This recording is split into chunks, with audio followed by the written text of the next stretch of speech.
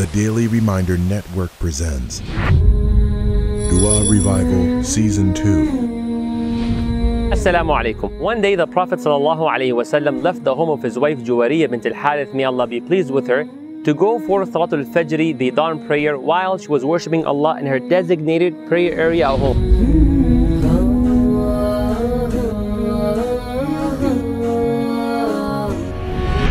After several hours during the time of duha in the forenoon, the Prophet ﷺ returned home to find his wife Juwariya worshipping Allah in the same position she was at when he had left her earlier in the morning.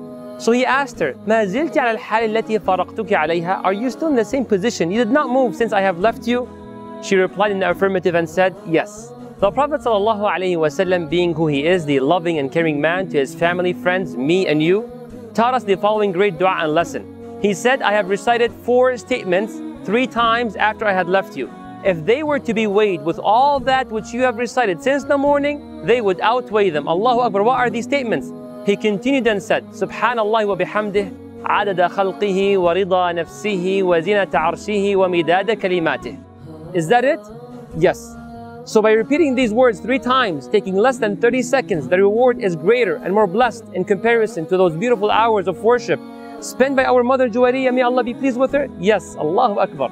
Brother, please explain and elaborate further on the meaning of this outstanding dua so that we may express it with understanding and passion. I will inshallah, but please be sure to focus and pay attention for you will enjoy inshallah. May Allah make it easy on me to explain, easy on you to understand, and easy on all of us to implement. Ameen Rabbil Alameen. The Prophet ﷺ, as narrated in Sahih Muslim, began the dua by saying Subhanallah, commonly translated as All glory be to Allah. It can be further explained as the following. O Allah, you are free from any imperfection, free from any shortcoming, free from any lie attributed to you by the haters and the ignorant, and free from any association or similarity to any being in any form. So by saying this, you are negating every negative attributed to Allah subhanahu wa ta'ala. Now, wa bihamdih. One of its meanings is, O Allah, you are deserving of all praise. With that praise, you affirm Allah's oneness, uniqueness, strength, capability, and all of His beautiful names and all types of praise. So ultimately, by saying this, you are affirming every positive attributed to Allah subhanahu wa ta'ala. Now, what remains in the dua is a description and explanation of the extent we want to negate the negative and affirm the positive attributed to Allah subhanahu wa ta'ala.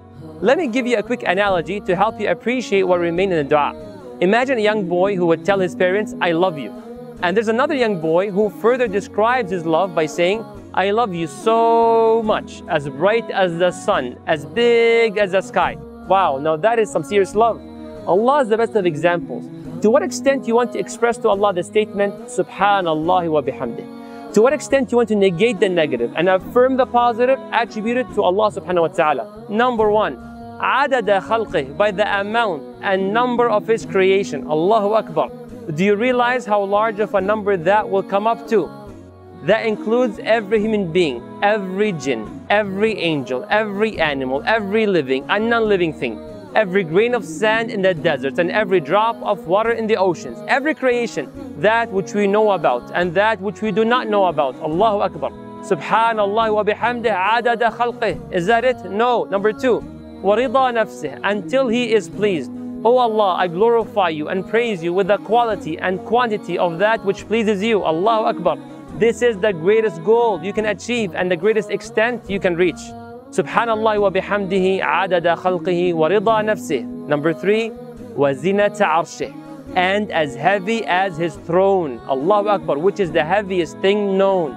The distance between the earlobe and shoulder of one of the angels carrying the throne is 700 years long. Allahu Akbar, how magnificent is Allah's throne.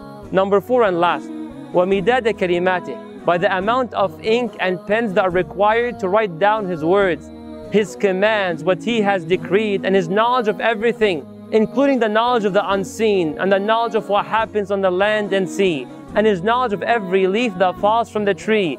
For He has said, if every tree was cut and made into pens, and every ocean was turned into ink, and was reinforced with another seven oceans of ink, ما نفدت كلمات الله then the pens would come to an end and you would run out of ink. But Allah's word will remain. Allahu Akbar.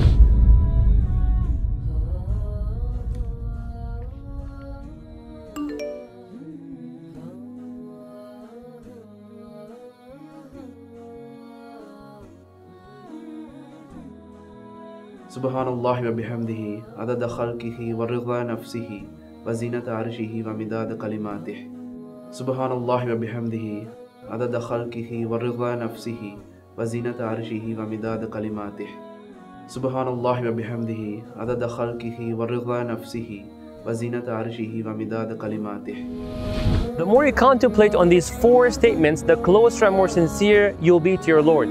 Don't forget to say it three times every morning. Subhanallah wa bihamdih adada khalqihi wa rida nafsihi wa zinata arshihi wa midada kalimatih.